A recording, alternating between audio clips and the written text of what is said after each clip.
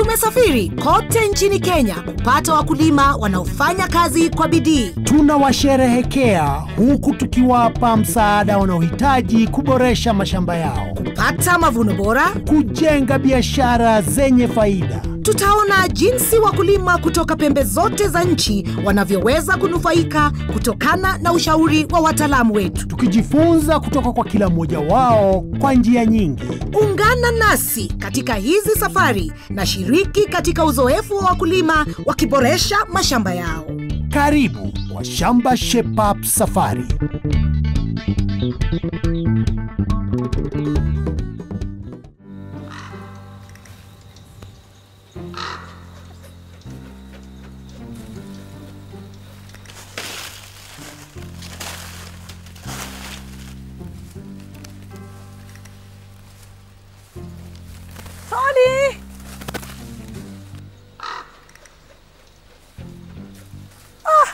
Ah, Karo. Nimekutafuta.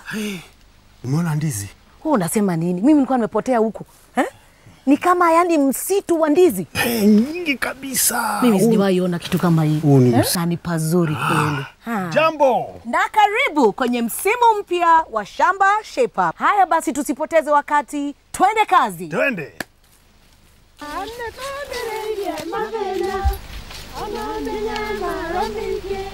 Wiki hii tuko Murang'a, moja kati ya makaunti zenye kilimo kwa wingi hapa Kenya. Na hiki ni kijiji cha Sama ambako tunawatembelea Lucy na Steven Kamau kwenye shamba lao la ekari ishirini.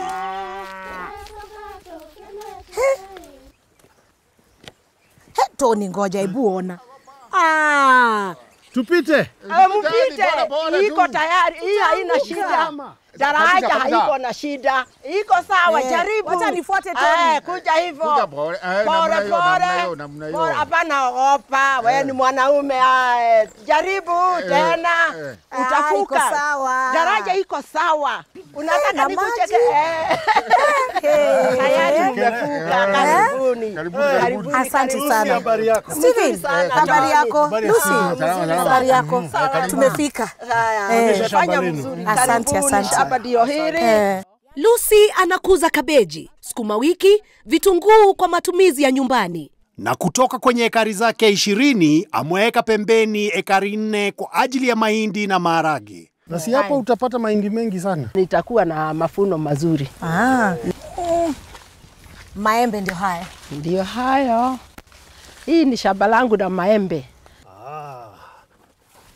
Na hawa ndio ng'ombe wenu Steven. Hadi hawa. Kiwango cha maziwa kinakuwa namna gani Lucy? Kiwango ya maziwa iko mingi sana, hata tunauza. Maziwa bila shaka ni chanzo kizuri cha kipato na mahindi ni chanzo muhimu cha chakula. Lakini kwa wakulima wetu hakuna kitu kinacholingana na ndizi. Wana eneo kubwa na bado wanataka kupanua zaidi. Karo, umeonaje wakulima wetu? Kusema kweli, Tony, hawa wakulima eh, wana maarifa sana. Wataalamu wakikuja kwenye shamba lako, kuna uhakika kwamba kazi lazima ifanyike. Lakini kwanza waache tuende tukite hema letu, Hivyo basi tuna mtaalamu kuhusu kuondoa wadudu kwenye ndizi. na mtaalamu kuhusu kuhifadhi mahindi. Lakini kwanza naenda kuwachukua wakulima wetu na mtaalamu na tuelekee huko katika shamba maridadi la ndizi. Ai, lakini mbona mimi nabaki pale kwenye shamba la ndizi? Panapendeza sana. Hebu pia mimi niende. Njoo. Imewachukua Steve na Lucy miaka kumi na miwili kupanda msitu huu wa shamba. Kwa sasa wana migomba 1400 na wanatarajia kupanua zaidi. Wakulima wetu wanapenda ndizi kwa sababu hutumii nguvu nyingi kama mazao mengine na zinaleta pesa nyingi, na pia kuna soko lake kubwa hapa Murang'a. Lakini ndizi ziko kwenye hatari ya wadudu na wameshambulia baadhi ya migomba hapa. Mtaalamu wetu Francis Mwaura kutoka Osho yuko hapa na suluhisho. Mambo si sawa. Tayari kuna shida moja ambao wadudu wako ndani ya mchanga ambao wanajulikana kama nematodes. Pili, kuna wale wadudu ambao wengine wanaitwa banana weevils ambao ni wadudu wadogo lakini hukula gara ama mahali mandizi hutokea pale chini yenye tuna- tunaita kwa jina la kimombo linajulikana kama rhizome. Sasa njia ya kwanza unaangalia mgomba mwenyewe kama yale majani yake yamebadilisha rangi kutoka ile rangi ya kijani na kuanza kukauka kauka, hiyo ni ishara moja. Ishara ya pili, anapaswa achukue, aende shambani mwake, achukue panga kama hili na afukue, afukue kabisa, akiangalia jinsi mizizi yake ya ndizi imekaa. Na kuangalia, lazima ukue, uangalie kwa makini. Akitazama atapata mzizi mzuri kabisa katika ndizi. Unapaswa ukue umenona pande moja kulingana na penye umetoka kwa mgomba, alafu pande ya chini uko na mizizi mingine ya kutafuta chakula na kuleta kwa ndizi. Lakini akipata mizizi yake imekaa namna hii, anapata ishakuliwa na mizizi iko na vidonda, na pia akiguza kwa kucha, nyama hii pande ya kwanza inatoka, inabaki mzizi mwebamba, itakwambia kabisa imekufa sasa. inakaa ina kama imekufa. Wanapaswa wakati wanapanda mandizi yao wawe wanatumia dawa ambayo inajulikana kama bionematon, na ni dawa ambayo tunasema ni dawa ya kiasili, dawa iliyo na nguvu ya kudhibiti na kumaliza hawa wadudu ambao wanajulikana kama nematode kwa mchanga. Wakati unapanda dizi lako, unapaswa ukichimbua lile shimo, lako la ndizi kabla hujapanda dizi lako, ukuje uchukue hii dawa inajulikana kama bionematon, upime kipimo kidogo cha mililita mia moja kwa lita ishirini za maji, alafu uende unyunyize lile shimo lako pale chini. Hiyo ndio njia yakwa wakati unapanda dizi la dizi lako. Hilo njia ingine nayo unachukua ule upanga wako. Juu tulisema nemato ziko ziko chini ya, ya mgomba pale chini, uende ufukue ufukue vizuri. Ukishaona mizizi yako, uchukue ile dawa yako. Milita mia moja kwa lita ishirini za maji, unyunyize hiyo mizizi yako yo yote, alafu urudishe mcha mchanga, alafu utakuwa unarudia hii dawa inaitwa bionematon badala ya miezi si sita, kuhakikisha mmea wako wa mandizi unaendelea vizuri bila kuambukizwa na wadudu ambao tunawaita nematodes. Yeah. Hilo shida lingine ilikuwa kuangalia banana wivo. Unafukua. Sasa ukipata hili gara pahali mandizi kutokea limeanza kuo, kuoza, limekuliwa, ujue la kwamba wale wadudu ambao wanajulikana kama banana wivo tayari washaingia ndani ya shamba lako la mandi la mandizi. Ndivyo tukakwambia kuna dawa ambayo inajulikana kama Dynamo. Hii dawa inaitwa Dynamo, ni dawa iliyo na nguvu zaidi ya kukinga wadudu tunawaita banana weevils. Unaweka kipimo kidogo sana, gramu tano kwa lita ishirini za, ma, za maji. Unakuja unafukua kwa, kwa mandizi yako, ndivyo upate mizizi vizuri. Ukuje unyunyize dawa yako vizuri ya Dynamo. Kimaliza kuweka ile dawa, urudishe mcha mchanga. Hiyo njia ingine tulisema, unaenda shamba yako unakata nini kale kamgomba kado kwa lile ndizi ambalo lishamalizika, unakakatanisha mara ngapi? Mara mbili. Ukishakakatanisha hivyo, unakaweka pale, nyunyize vizuri. Ukishamaliza, chukua ile mgomba ilalishe chini karibu na ndizi, namna hiyo. Wale wadudu tu ambao tunaita banana wivo, kwa sababu unataka kula ule mgomba, wata, watasikia harufu ya hii mgomba na watakuja. Wakikula hii mgomba watapata sumu na wataweza kukufa. Tukikata ndizi tunabakisha mgomba. Tumezoea kuchukua mchanga mm -hmm. na kuliweka juu ili tuzuie banana weevils. mm -hmm Ili njia ambayo ulikuwa unaitumia ni njia ya, Tamadu- ni ya, exactly, ni njia ya kidamaduni, lakini kwa sasa hii njia ishapitwa na, waka, na wakati. Sasa ile jia mzuri ni kule kutumia dawa ya Dynamo. mm -hmm. na sasa za umoja la ndizi tuseme kama kama hili hapa linaweza kaa ama kudumu kwa miaka mingapi? katika wakati mmoja hilo shimo lote ama huo mmea unapaswa ukue na migomba mingapi? Mitano. Ukiwa na migomba mitano ni kumaanisha kila wakati uko na ndizi moja liko karibu kupelekwa sokoni, alafu kuna ndizi lingine lidogo linatoke linatokea kwa mgomba, alafu uko na madizi ngapi? Tatu, ambayo inapanda ndio ikuje itoe maua itoe ndizi. Hivyo, kwa uangalizi mzuri, mmea utaota na kuzalisha ndizi zaidi ya miaka kumi. Bora tu kusiwe na vinondo au nematodes na viwavi vya ndizi.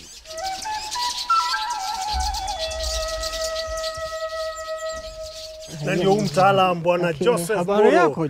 Mzuri sana, habari yako? Oh, niko salama kabisa. Haya basi, kutana na mkulima wetu Lucy Kamau. Sasa Lucy ni mkulima shupavu sana na, na hivi karibuni anatarajia kupata mahindi magunia mengi sana, na angetaka kujua vile hata hifadhi ili ayauze bei ikiwa mzuri kwenye gala lake.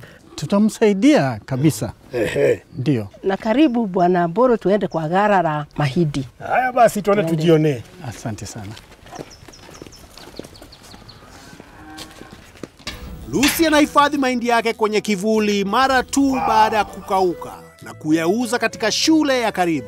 Lakini mwaka huu amepanda mahindi mengi na anatarajia kuwa na mavuno mengi. Lakini je, anahifadhi mahindi yake kwa usahihi?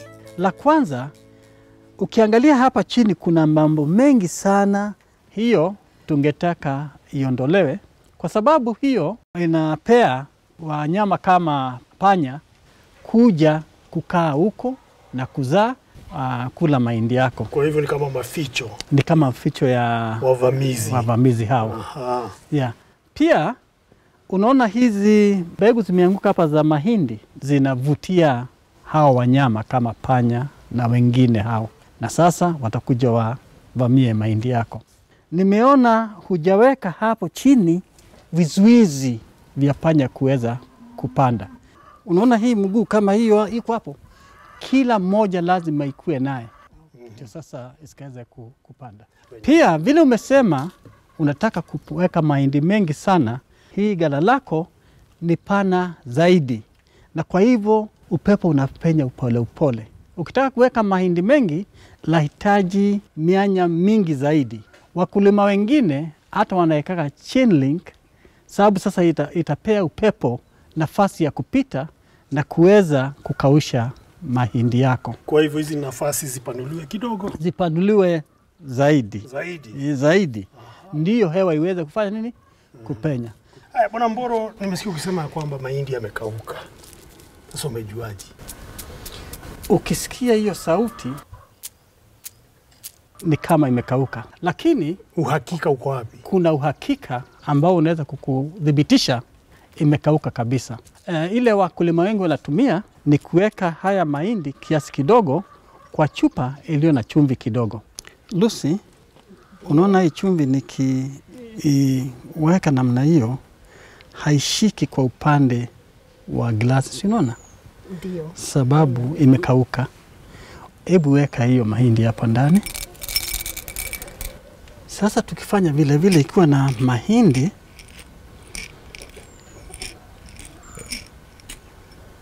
ukiangalia kwa upande, hakuna pahali imeshika. Ni ukweli hmm? haijashika. Sasa inaonyesha kweli mahindi yetu imekauka, sababu kama haikuwa imekauka hapa, ukio- ungeona inaanza kushikashika kwa glasi. Kwa hivyo hiyo mahindi unajua imekauka. Lakini pia kuna njia zingine, kuna ile mita tunaita moisture meter ambayo unaweza kununua kwa duka, unaweka tu kwa mahindi, ukitoa unasoma. Mahindi inatakiwa wakati unaenda kuiweka kwa store ikiwe na kiwango kama uh, nyuzi kumi na mbili uh, za centigrade. Lucy, wewe una unajuaje mahindi yako yamekauka? Naweka kwa mdomo hivi natoa kama sauti. Ukisikia sauti iko kali, utajua imekauka. Hebu- hebu nisikie. Ah, imekauka. Mara tu mahindi yanapokauka, yanatakiwa kupukusuliwa na kuwekwa kwenye magunia maalum ya hemati yasiyoruhusu hewa na kufungwa ili kwamba hakuna kemikali itakayoongezwa au kuhitajika kuyalinda kutokana na wadudu. Lucy amefuata baadhi ya haya maagizo na amehifadhi mahindi yaliyosalia ndani ya nyumba yake. Sasa hapa ni wapi? Hapa ni store ambayo nawekanga chakula yangu ya nyumbani, Hii ndio mnatumia. eh, ndio tunatumia. Naona kwa mtazamo wako ni kama umefurahi ama hujafurahi. Kwa upande mmoja nimefurahi ah. kwa sababu nimeona Lucy ametumia haya magunia ya hermetic bags. Yale mangunia spesheli. Hii ni spesheli, lakini kwa upande mwingine sijaridhika. Nafaka wakati unaiweka haistahili kuwa imeshikana na ukuta, na pia haistahili kushikana na sakafu Kwa nini? kwa sababu itachukua maji au unyevunyevu, na hiyo itakuwa mwanzo wa kuharibika hiyo nafaka. Lazima pakuwe na hewa inaweza kupita, na hiyo hewa wakati inapita inachukua unyevu kutoka hapo, sababu unyevu ukikaa ndani ya mbegu inawezesha bakteria ama vini kama fangai kukua na vikaharibu nafaka yako. na pia inaweza kusababisha kuvu mbaya ya aflatoxin. E, pia inaweza kuleta hiyo uh, aflatoxin ambayo ni aina ya fungi, na hiyo si mzuri kwa matumizi ya, ya binadamu.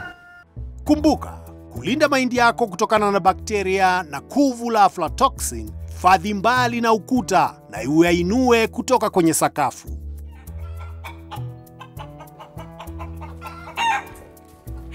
Tony, mambo vipi hapa? Eh, mambo yanaendelea vizuri sana. Aha. Mkulima amejifundisha mengi haswa kuhusu kuiboresha hili gala, Ah, vyema kabisa. Mm -hmm. lakini kuna mengi baada ya mapumziko.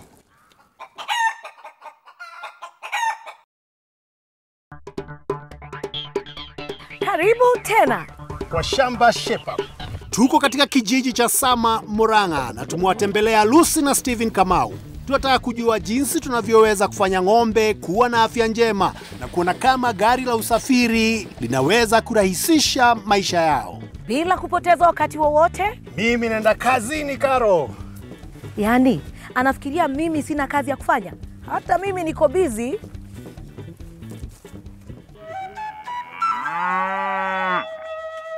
Naona kwamba mtaalamu wetu kutoka Coopers, Daktari Mturi, tayari anawakagua ng'ombe. Steven anapata lita 29 za maziwa kila siku kutoka ng'ombe wane kati ya ng'ombe wake kumi na wawili. Lakini kwa mtaalamu wetu hayo bado ni kidogo, sababu anadhani hawa ng'ombe wanahitaji dawa ya minyoo. na ngozi kama imechakaa ama rangi kama imechakaa na manyoya kutoka toka ovyo ovyo, inamaanisha kuwa ng'ombe kuna minyoo.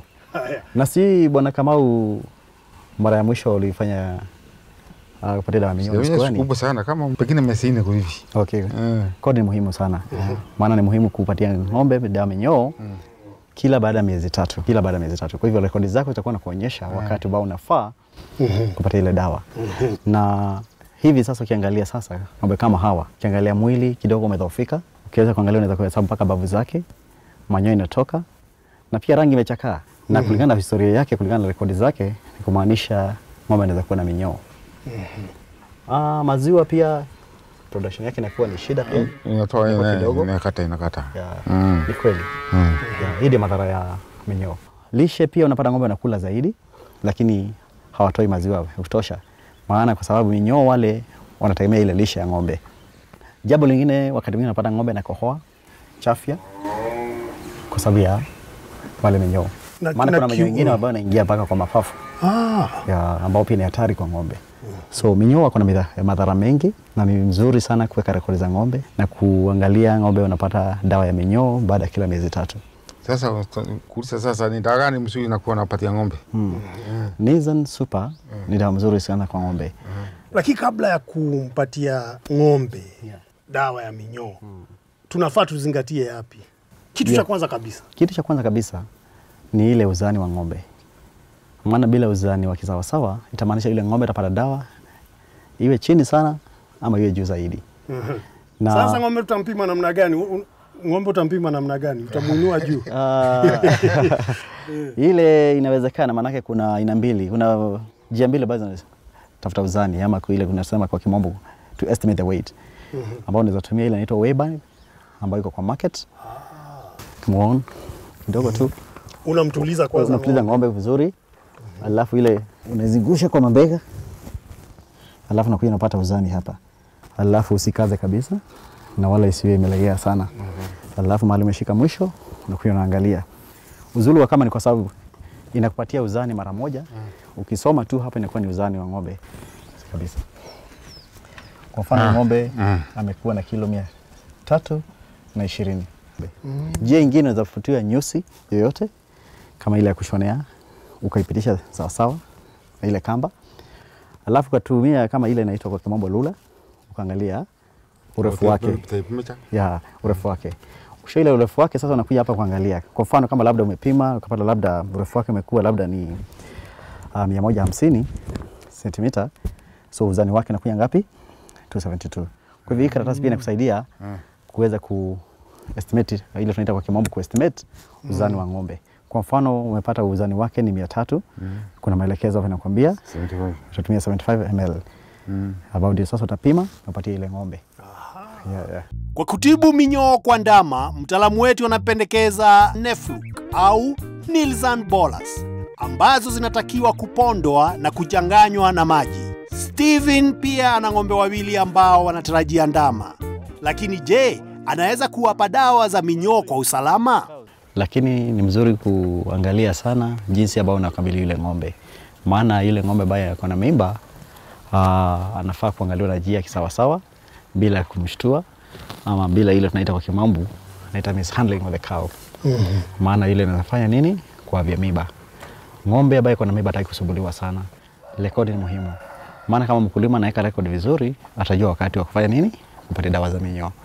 Amesema wakati anashika mimba miezi ya tatu kwanza, kwa kimombo tunasema ako sensitive sana, kwa vya mimba ni haraka sana, na hivyo hivyo tu miezi ya tatu mwisho pia, na ndio ndiposa tunasema lazima umwangalie kwa utaratibu bila kumsumbua kumsumbua sumbua. Si umeelewa mengi leo? Umeelewa, umeelewa. Ah, asante. Asanteni sana.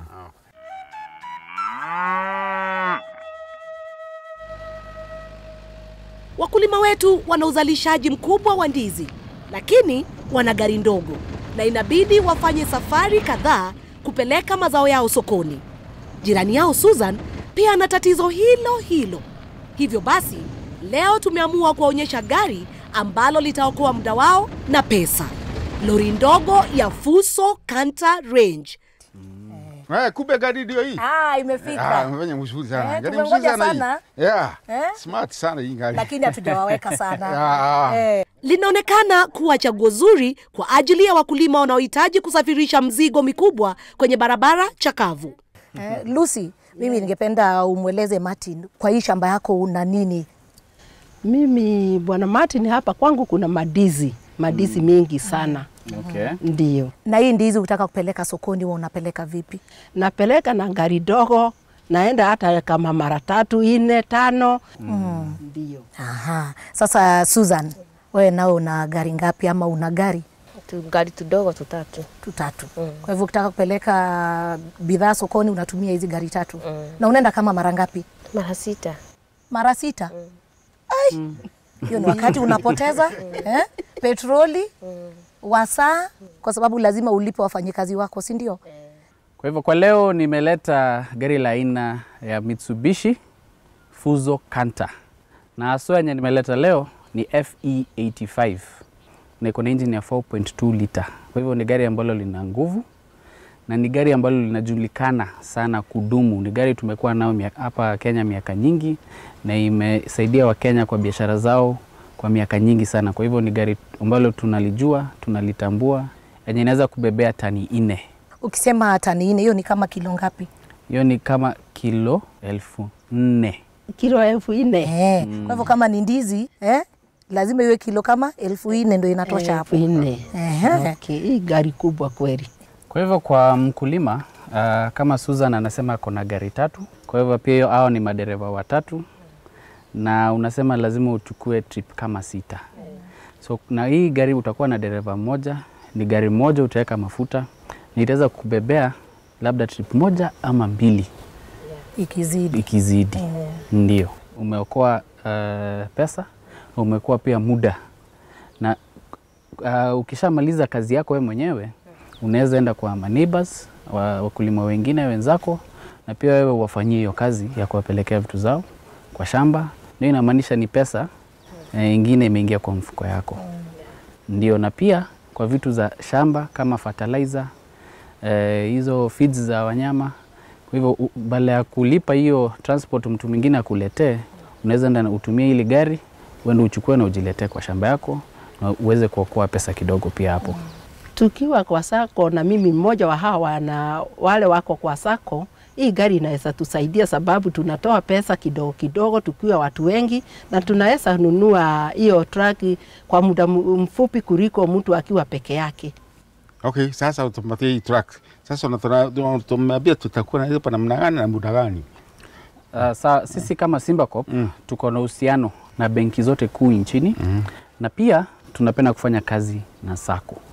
Uh, vile tumesikia pia nyinyi mko kwenye sako, kwa hivyo tunaweza kaa chini na tujue uh, ambavyo tunaweza angalia vile utakuwa mnalipa polepole pole kwa mwezi mpaka mweze kumaliza malipo ya gari yote. Nilikuwa nauliza hii gari ni la petro ama ni la diesel? Manake petro iko bei gari kuliko diesel. Kwa hivyo hii gari kwanza, kwa utumizi wa mafuta hainyunyizi mafuta sana, inatumia mafuta vizuri, na kuongezea tena ni gari la diesel. Gari liko mzuri, hata ningetimia mzee wangu aninulie gari kama hili. Pengine mwaka moja hivi ama huwezi jua, naweza kutoa hiyo cash na gari baki hapa. Susan, wewe kama unataka gari tunawacha hapa tunawacha hapa. Ni mzuri sana. Ni mzuri Eh, sana. Ah, mi naona uko na tamaa sana Nataka kuingia nione. Basi Karibu sana. Usianguke. Siwezi. Sawa.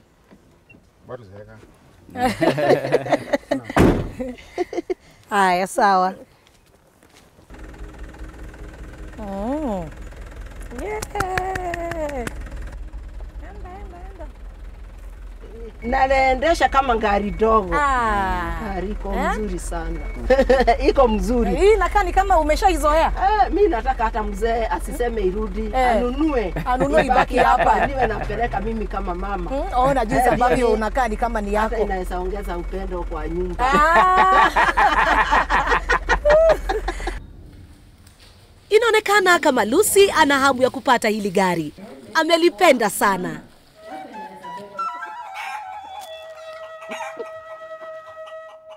Ah, Kikombe cha chai. imefika. Ndio hii, karibuni kwa kikombe ya chai. Asante Asanti sana. Karibuni sana. Karo, umefurahia shape up ya leo? Ah, Tony, shape up ya leo imekuwa nzuri sana. Eh? Bwana Steven, maoni yako ni yapi? Umejifunza mengi. maoni yangu mimi nimefurahi sana na maoni ya expert nimefurahi sana Mm. Ah. Imesaidia. mengi. Mm, sana sana sana Mm. Ah. Kama sio nyinyi watu wa shamba shape up, hatungekuwa tumesoma hii yote tumesoma. Kwa hivyo ni shukrani sana kujua mmetuletea mambo mazuri ile tunaweza elimika naye, na hata tutakuwa tukielimisha tujukuu wetu ndio tuchukue hiyo mambo tunaendeza. Ah, hapa basi kazi yetu imekwisha. Na basi tuonane katika shamba Lingine. Thank you.